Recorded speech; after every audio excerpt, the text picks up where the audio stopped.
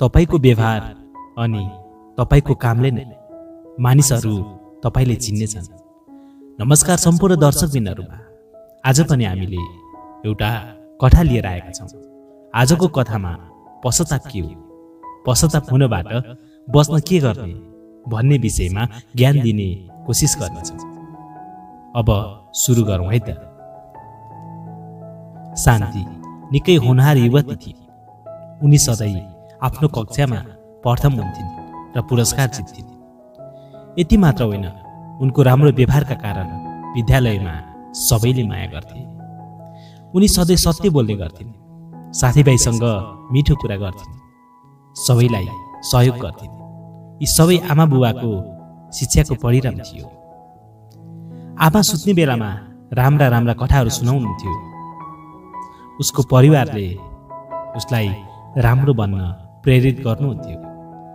शान्ति अहिले कक्षा सातमा थिइन्। उनी कक्षाको निगरानी पनि थिइन्। यसपटक बाहिरबाट एउटी युवती उनको कक्षामा आइन्। उनको नाम थियो पुनम। पुनम शान्तिकी साथी भए पुनमका बुबा धेरै धनी थिए पुनम पढाइमा धेरै चलाक नभए पनि हरेक दिन नयाँ लुगा लगाएर आउने गर्थिन्। साथीहरूलाई धेरै खाजा खुवाउने गर्थिन्। जसका कारण धेरै साथीहरू उनको साथी बने। पुनमसँग धेरै पैसा हुन्थ्यो। त्यसैले बेकारका कुरामा खर्च गर्थिन् यसरी शान्तिले पनि पकेट पनि पाउँथिन्। तर आमाले भन्नुहुन्थ्यो छोरी बजारबाट सडेको चिज वा चक्लेट किन्नमा खर्च नगर्नु यी चिजहरू बेला बेलामा मात्र खान तर यसलाई दैनिक नखान। शान्तिको घरमा प्राय यस्तो हुन्थ्यो कि बच्चाहरूले जे फलफुल वा चिज मागेको थियो उसकी आमा आफै बजारमा गएर किनेर ल्याउनुहुन्थ्यो। त्यसपछि सबै मिलेर खानुहुन्थ्यो। शान्तिकी आमाले उनलाई एउटा सुन्दर पिगी ब्याङ्क दिनुभएको थियो। त्यसैले शान्तिले दिनहुँ पैसा लिएर त्यसमा राख्थिन् कहिलेकाहीँ उनी पिगी ब्याङ्कबाट पैसा निकाल्ने गर्थिन्।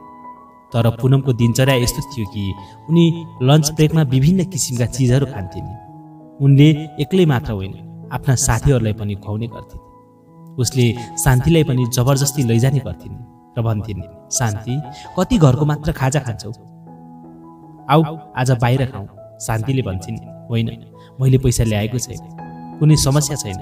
म पैसा दिन्छु पुनमले भन्ने गर्थिन्। एक दिन शान्तिले उसलाई भन्छ मैले खाएको पैसा तिमीले किन दिने? त्यसैले पुनमले भने किन? तिमी मेरो साथी होइनौ र पुनमले शान्तिको लागि पनि केही खानेकुरा ल्याएर दिए अनि शान्तिले भन्छन् म खाँदिनँ। पुनमले सबै खानेकुरा लिएर बाटोमा कुकुरलाई दिन्छु भने त्यसपछि शान्तिले त्यो खाना खाए समय बित्दै गयो। बिस्तारै पुनमसँग बसेपछि शान्तिले पनि बजारका सामानहरूमा पैसा खर्च गर्ने बानी भयो। केही दिनसम्म पुनमले आफ्नै पैसाले खुवाइन् र एक दिन शान्तिलाई भने किन शान्ति? तिमीले पकेट मनी पैसा पाउँदैनौ पाउँछु भनेर शान्तिले जवाफ दिए। त्यसो भए दिनौ पैसा किन ल्याउँदैनौ? पुनमले प्रश्न गर्यो। शान्तिले भन्यो त्यो पैसाले मैले कहिलेकाहीँ केही चिज किन्छु। यसपटक म मेरो भाइको जन्मदिनको लागि उपहार किन्नु छ यो सुनेपछि पुनम हाँसिन् अनि भने जुन आनन्द दिनहुँ खानेकुरा खाँदा पाइन्छ त्यो पैसा जोडेर कहाँ पाउँछ बिस्तारै पुनमसँग सँगै शान्ति पनि खर्च गर्ने खालको हुन थाले अब दिनहुँ पैसा ल्याउन थाले घरबाट ल्याएको खाना कहिले अरूलाई दिन्थिन् त कहिले कुकुरको अगाडि फालिदिन्थिन्। घरका खानेकुराहरू अब उसलाई बोर लाग्न थाल्यो। एक दिन शान्तिको पिगी ब्याङ्कमा रहेको पैसा सबै खर्च भयो। उनी सोचिरहेकी थिइन् आज कसरी चक्लेट खाने कसरी किन्ने? त्यसपछि उनको नजर टेबलमा राखेको आमाको पर्समा गयो। शान्तिले सजग आँखाले यताउता हेरे र हतार हतार पचास रुपियाँको नोट निकाले। पर्समा धेरै पैसा थियो। त्यसैले यो चोरी गरेको कसैले पक्रन सकेन। अब शान्ति झन् निधर भयो। कहिले आमाको पर्सबाट पैसा निकाल्थिन् त कहिले बुबाको खल्तीबाट पैसा कसले चोर्यो भनेर अभिभावक चिन्तित थिए। उसको आमा बाबुको शङ्का घरमा काम गर्ने सोनीमाथि पर्दै थिए। सोनी बाहिरबाट काम गरेर फर्कने गर्थिन्। जब सोनी काम गर्थिन् हजुर आमा बाहिर बसेर निहाल्नुहुन्थ्यो शान्तिका आमा बुबाले बुझ्न सकेनन् आखिर पैसा कहाँ जान्छ? कसले निकाल्छ? उनका आमा बाबुले दाजुभाइ दिदीबहिनीसँग सोद्धा। उनीहरूले पनि पैसा नदेखेको भन्दै स्पष्ट स्वीकार गरे। एक दिन घरमा धेरै पाहुना आए। शान्तिकी आमाले आफ्ना बुबालाई पाहुनालाई खानको लागि बजारमा सामान ल्याउन भने। बुबाले तुरुन्तै कपडा फेर्नुभयो झोला उठाउनु भयो र बजारतिर लाग्नुभयो। शान्तिको बुबाले सुरुमा बजारमा धेरै फलफुल किन्नुभयो। पैसा दिन उसले खल्तीबाट पर्स निकाल्यो तर त्यहाँ सबै रुपियाँ थिएन। त्यहाँ केही रुपियाँ मात्रै थियो। आज बिहानै उनले पचास रुपियाँका दुईवटा नोट राखेका थिए। अब उनी अन्यलमा परे। त्यो पैसा कहाँ गयो? कसले र कहिले निकाल्यो फलफुल विक्रेताले शान्तिको बुबालाई धेरै गाली गरे। भने दाजु पहिले घरमा पर्स चेक गर्नुहोस्। त्यसपछि बजार आउनुहोस्। यदि तपाईँ यसलाई वहन गर्न सक्नुहुन्न भने म जस्तो असल व्यक्तिलाई अनावश्यक रूपमा दुःख नदिनुहोस्। शान्तिको बुबालाई अपमानित महसुस भयो। उदास अनुहार लिएर घर फर्कियो। उसलाई लाग्यो कि शान्तिकी आमाले नभनी पैसा निकालेकी छिन्। त्यसैले घर पुग्ने बित्तिकै रिसाउन थाले तर शान्तिकी आमाले पैसा निकालेको थिएनन्। उसले भनिन् मैले तिम्रो पर्सलाई छोएको छैन। पाहुनालाई घरमा जे छ त्यही खुवाएर विदा गरे। जब पाहुना फर्किए राति घरका सबै सदस्यहरू सँगै बसेको बेलामा शान्तिका बुबाले आज फलफुल विक्रेताबाट भएको अपमानित सुनाए। भने मलाई ती व्यापारीले गाली गरे। बुबाको यो सब कुरा सुनेर शान्ति रुन थाल्यो। उसले सोच्न थाल्यो कि मेरो कारणले उनको बुबाको यति धेरै अपमान भयो।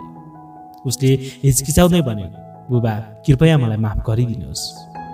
मैले आज तपाईँको खल्तीबाट पैसा चोरेको थिएँ। आमा शान्तिलाई गाली गर्न लागेकी थिइन् तर बुबाले रोक्नुभयो। उनले शान्तिलाई कसरी चोर्ने बानी बस्यो सबै कुरा सोधे र सबै कुरा साँचो बताए। उनले अपराध स्वीकार गरे। शान्तिले पुनमसँग बस्दा आफूलाई स्मार्टनेसको लत लागेको बताए जसका कारण उनले चोरी गर्न सिकेको भने। शान्तिका बुबाले भने जब जिब्रोलाई मिठो खानाको लत लाग्छ तब हाम्रो स्वास्थ्य बिग्रिन्छ। यसबाहेक हामी धेरै खराब बानीहरू पनि विकास गर्छौँ। तिमीले देख्न सक्छौ कि तिम्रो यो बानीले गर्दा तिमीले चोरी गर्न सिकेका छौ। चोरी मात्र होइन झुट पनि बोल्न सिक्यौ। यसरी तिमीमा धेरै नराम्रा बानीहरू विकास भएका छन्। यदि तिमी फोहोरी सन्तान बन्यौ भने न त तिमीलाई माया गर्छौ न त स्कुलमा तिमीसँग कसैले कुरा गर्नेछ। शान्तिले बुबालाई अङ्गालो हालेर रोए अनि भने बाबा अब म पुनमसँग बस्ने छैन। मैले ऊबाट यी खराब बानीहरू सिकेको छु। अब म बजारको कुरामा पैसा खेर फाल्ने छैन। म सुपारी र चक्लेटको लागि चोरी गर्दिनँ। यसपटक मलाई माफ गर्नुहोस्। हृदय गरेको शान्तिको टाउको छोएर बाबुले भने छोरी तिमी पनि असल बन्ने प्रयास गर्नेछौ भन्ने हाम्रो विश्वास छ। तिमीले राम्रो काम गर्दा हामीलाई धेरै खुसी लाग्छ। हाम्रो शिर गर्वले माथि हुन्छ। तर जब तिमी खराब काम गर्छौ हामी सोच्दछौ कि हामीलाई केही थाहा छैन जसले तिमीलाई राम्रो बनाउन सक्दैन। तिमी नै हाम्रो जीवनको साधना हो छोरी। तिम्रो व्यवहारले नै मानिसले हामीलाई चिन्न सक्छ। यति भनिरहँदा शान्तिको मन छोयो। बाबुको कुरा सुनेर शान्ति बेसरी रुन थाले यी आँसु पश्चातापका आँसु थिए। त्यस दिनदेखि शान्तिले धूर्तताका झुट बोल्ने र चोरी गर्न छोडे अब उनी एउटै कुरा कोसिस गर्छिन् बुबाको चाहना जे छ म त्यस्तै भन्नेछु। यसले उहाँ खुसी हुनेछ। साथीहरू आजको यो छोटो कथाबाट तपाईँले के ज्ञान पाउनुभयो? कृपया तलको कमेन्ट बक्समा गएर कमेन्ट गर्न नभुल्नुहोला।